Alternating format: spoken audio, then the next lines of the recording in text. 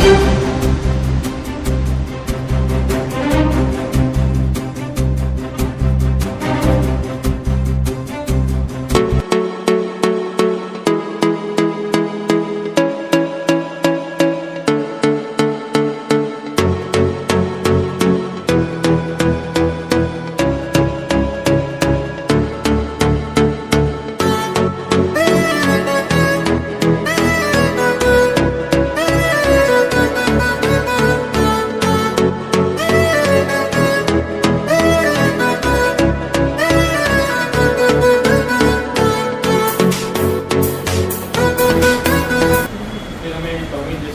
अल्लाह नवाजा है।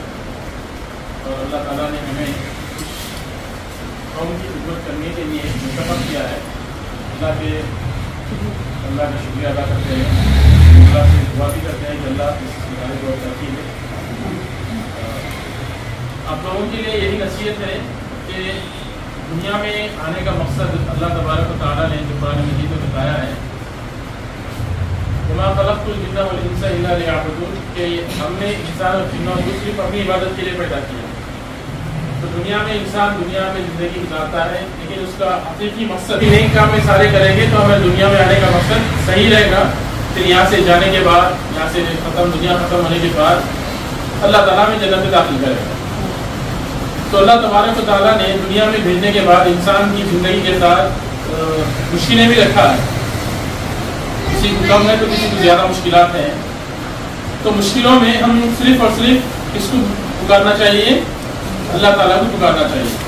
अल्लाह ताला ही हमारी मुरादें हमारी हाजतें, हमारी ज़रूरतें, हमारी परेशानी, हमारी तकलीफ़, सब सिर्फ़ अल्लाह ताला दूर करता है। अल्लाह के सिवा किसी के अंदर इतनी ताकत नहीं है कि हमारी तकलीफ़ दूर कर सके। खबरों के पास जाना, दरगाहों के पास जाना, झाड़ों पे, झंडों के पास जाना इधर उधर जाकर अपनी ज़रूरतें पूरी कर लेने की उम्मीद से लोग जाते हैं, शैतान उनको गुमराह कर देता है। अल्लाह तबारक व ताला इंसान कितना भी गुनाह करे, माफ़ करेगा। कितना भी गुनाह करे। लेकिन अगर शिर करता है, अल्लाह के अलावा किसी और के सामने जाकर अपना सजदा टेकता है, माथा टेकता है, उसको अपना मुश्किल खुशा समझता है तो अल्लाह तबारक इसको माफ़ नहीं करता। तो लिहाजा, तौहीद जो मेन इंसान को दुनिया और आखिरत में कामयाबी दे सकती है तौहीद है।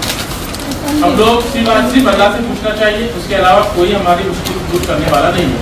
आपको जो भी मसाइल मुश्किल होते हैं अल्लाह के सामने रखें अल्लाह ताला आपके लिए अल्लाह मुहैया करेगा।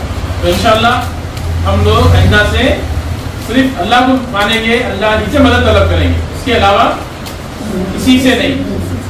अब खाली अनाज मिल रहा बोल नहीं नहीं बोलना नहीं मिले दे नहीं मिले दे सिर्फ़ अल्लाह से मदद तलब करना। अल्लाह ही देने वाला है।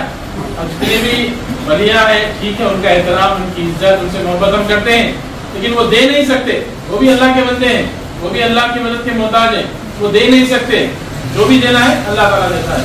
तो अल्लाह ताला से दुआ है कि अल्लाह ताला हम तमाम को दुनिया में जब तक रखे ईमान और तोहहीद की हालत में रखे जब हमें दुनिया से ले तो तोहहीद पर ले और शिर्क से हम सबको महसूस रखें।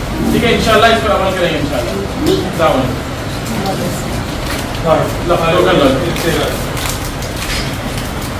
अल्लाह